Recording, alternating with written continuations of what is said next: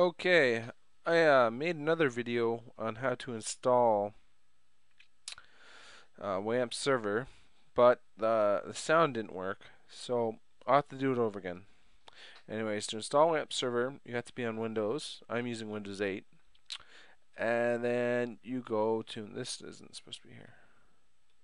Anyways, you go to, go into Google or whatever search engine you want and type in Apache HTTPD and click download and go to the one that says Win32 binaries. So go there. Uh, you don't need SSL. If you want SSL, download this one. And anyways, you save the file.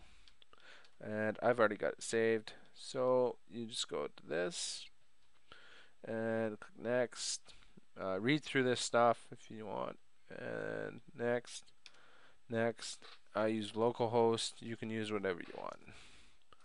Uh, I will use my real email address. Now, if you only want it for you, use port 8080. Um, I just use this by default. Um, I always choose custom and that looks fine. Install.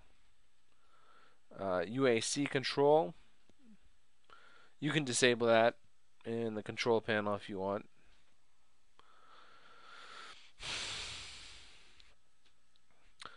And wait for it to install.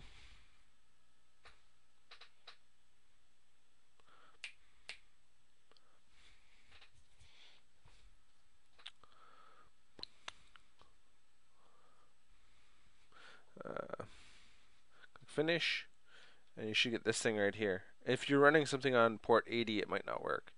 Anyways just type in localhost uh, try index.html it works.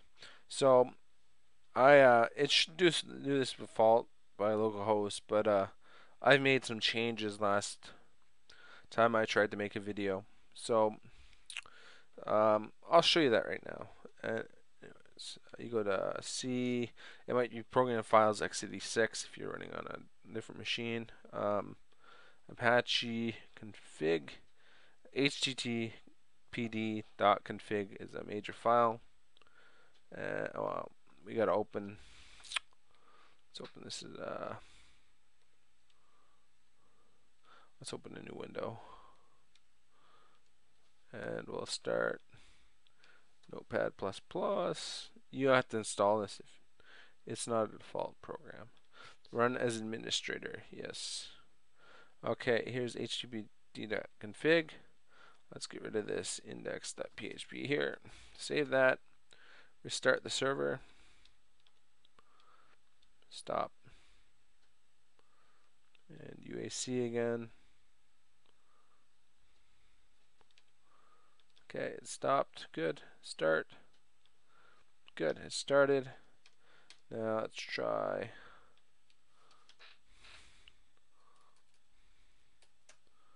There we go. It's good. You can also use the real IP address and it should work. Um, what this does is takes the that name and it converts it to this. So this is actually the real name, but we won't worry about that anyways. Next thing you need to do is download MySQL. So go to MySQL download. And um, click MySQL downloads. You can download them all. You really only need MySQL community server. And you choose the one for your machine. Like this machine is an x64. But um,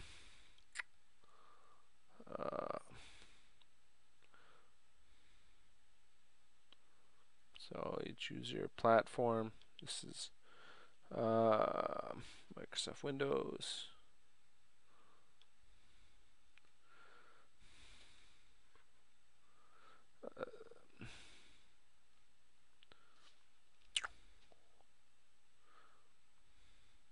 Yeah, you want the MSI or EXE. You don't want um, So this one's good. So download that. So click download. And it wants you to register, but you don't have to. No thanks. Just start by download. And it'll come up with this. And it's Windows x64, which is the wrong one for me. So you have to go back. But I've already downloaded the right one. So grab it. Next. Accept. Uh, you better read it. You're signing a life again. Anyways, custom. And that looks all good. UAC again. Anyways, when this gets done,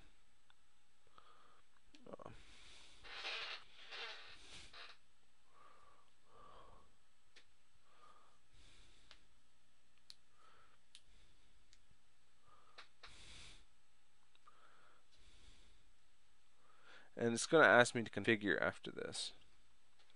So next, next.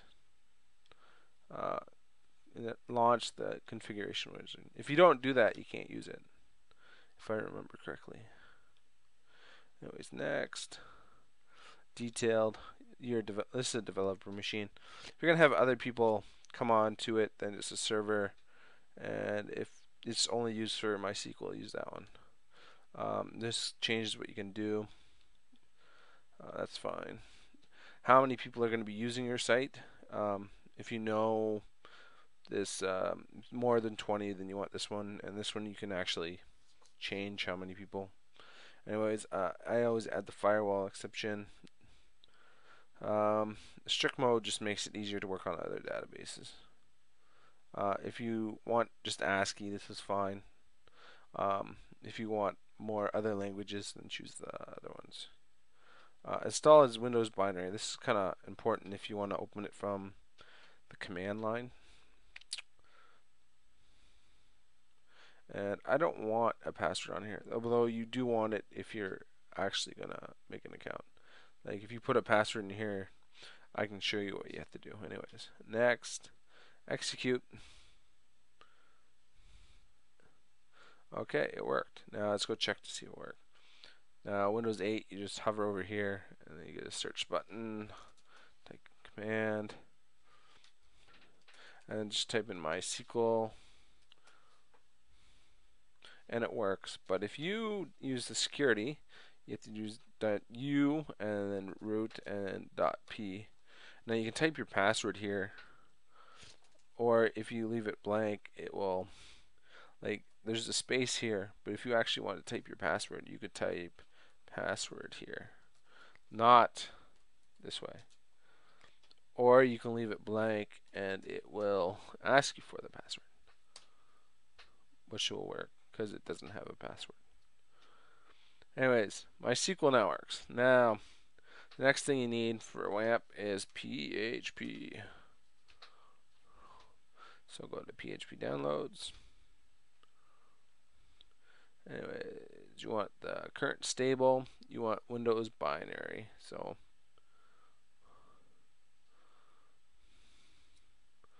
anyways, these are VC9, they won't work with Apache. They'll only work with IIS. So you have to grab a V6 version. So a V6 version, x86, say this one, it comes up. I've already downloaded it. So it's the V9, just to show you what a V9 it looks like. It'll come up and you have to accept it, and that's fine. But you see IIS fast CGI or other. That's not what we want. So open the V6, uh, accept. Uh, that's fine. I installed Apache 2.2, but whatever server you have, um, you have to find the Apache config file. Now, it might not be in program files. It might be in program files x86 if using a 64-bit machine. It's Apache config, and that's all it needs. Good. Now, script executables. I've never actually got this to work. Uh, these are manuals. I want the manuals. Anyways, choose the extensions. Um, you might have to install things to get them to work, but we we did install MySQL already, so uh, that's fine. MySQL improved is good. I don't need OSSL. PDO is for other databases. Actually, I'll, I will not click it now. Uh, I do want SOAP, which is a web service provider, and uh, RPC is also another one, and I'll use it. Okay, good. Install. UAC again.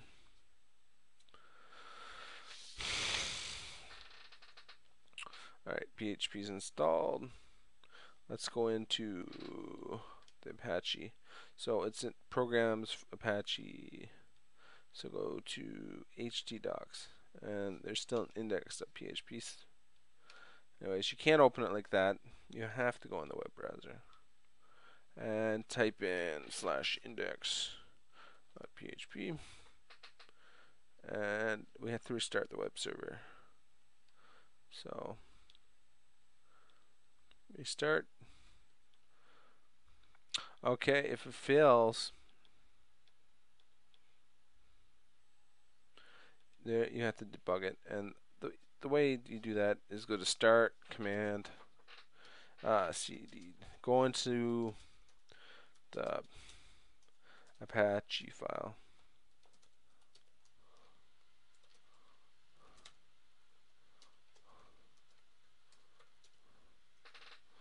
and it has an error on line 500 of the config file. So you, you see what that is.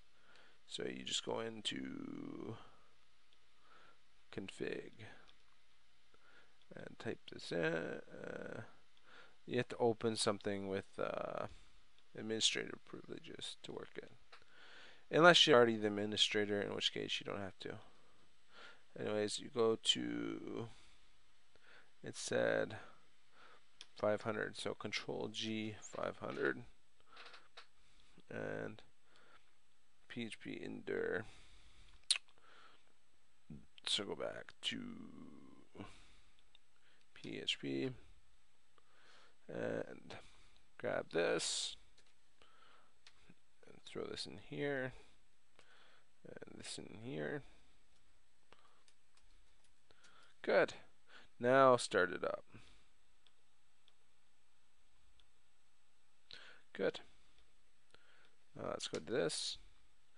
Uh, this is PHP info. It's very dangerous to let other people use it, but there it is right there. And now you can change the order. So we'll open HTTP config.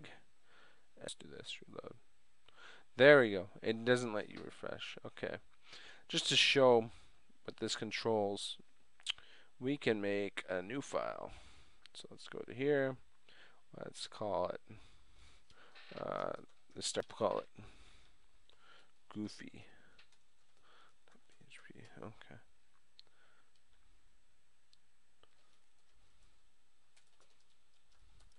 Okay, good. Um, so let's go into H.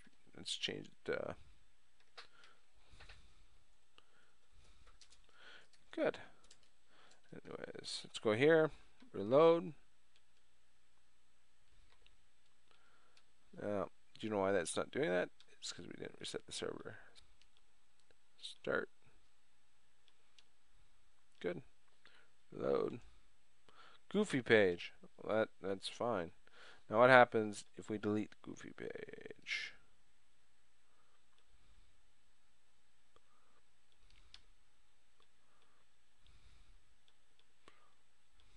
So let's get rid of it.